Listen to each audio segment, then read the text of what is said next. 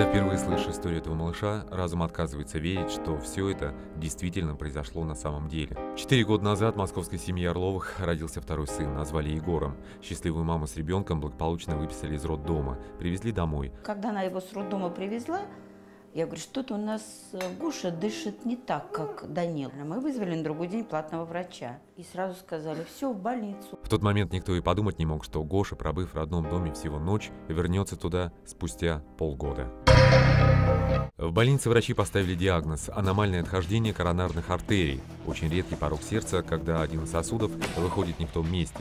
А в научном кардиологическом центре имени Бакулева провели первую операцию. Сосуды перешили, но перестал работать митральный клапан. Спустя неделю Гоша вновь на операционном столе. Ему тогда полтора месяца. Ребенок в прямом смысле на грани жизни и смерти. Говорят, что улучшился, если так будет дальше, переведем в отделение. На следующий день приходишь, бац, отек мозга. Доживет до вечера, не знаем.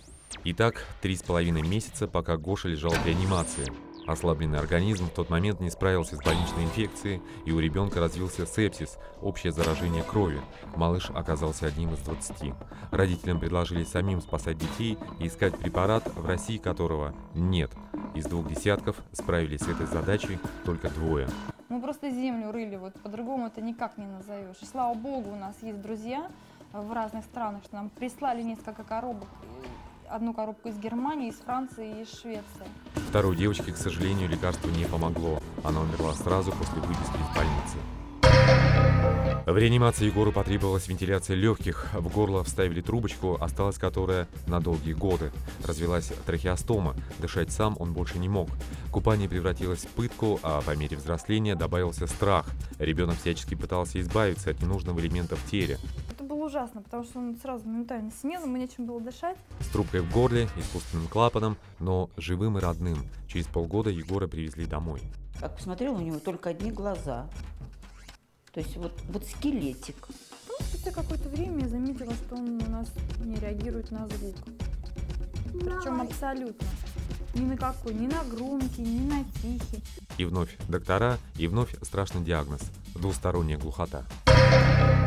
Как выяснилось позже, Егор потерял слух в реанимации из-за приема антибиотиков. Переживали ужасно, слез было слез было у нас море. Надежда была на слуховые аппараты. Полгода ношения результата не принесли. Егор ни на что не реагировал и даже плакал беззвучно. Я вообще по ночам практически не спала, потому что я подскакивала постоянно к его кроватке и слушала, вообще дышит он или не дышит. Узнав про кохлеарную имплантацию, Оксана поставила себе цель – во что бы то ни стало вживить аппарат и вернуть ребенку слух. Прошли массу врачей, собрали все документы, но в двух из двух возможных больниц в Москве получили отказ. Обратились в Минздрав. Не имеем права отказать, мы вас прооперируем, но вы напишите нам, пожалуйста, э, заявление о том, что предупреждены, что 98% ваш ребенок умрет, он со стола не сойдет. Оксана взяла время на раздумье.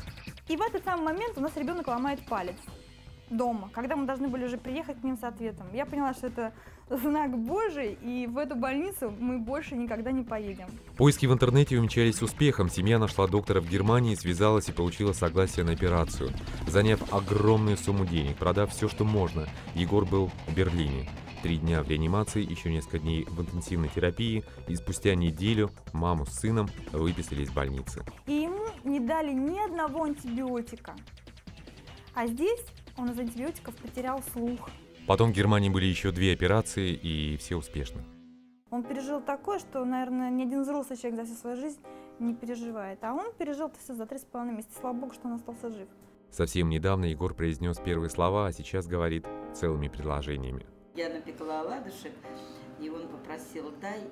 И вы знаете, он начал есть, и я вот сижу, и у меня такие слезы. Когда смотришь на этого маленького парня и его маму, ни за что не поверишь, что за такую короткую жизнь они уже перенесли так много. Но они вместе, и они счастливы.